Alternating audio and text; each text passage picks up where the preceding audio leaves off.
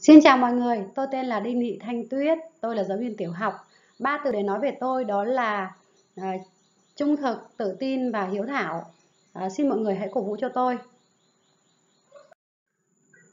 À, xin chào các bạn, hôm nay là ngày 8 tháng 7, cũng như thường lệ thì mỗi buổi sáng à, tôi dành ra một số thời gian để à, rèn trí nhớ Đầu tiên thì tôi thực hiện là ôn lại các con số từ 00 đến 99.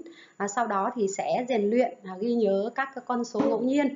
À, và hôm nay thì tôi đã rèn luyện à, các con số à, ngẫu nhiên à, được 25 à, à, cặp số à, trong thời gian hơn 7 phút. À, sau đây thì tôi trình bày cái à, bài rèn luyện của mình.